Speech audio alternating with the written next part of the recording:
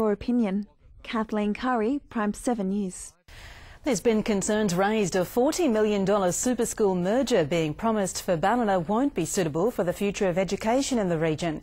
The project was announced by the Nationals as an election promise to deliver the North Coast the best school in the state. But the New South Wales Greens say there's nothing super about the way the project is being planned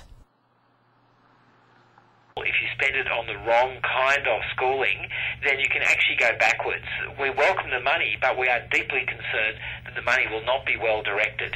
The super school will combine Ballina High and Southern Cross on the one campus, but the Greens say the current plan's not likely to boost the school's enrolment capacity to suit the region's population growth and more consultation is needed.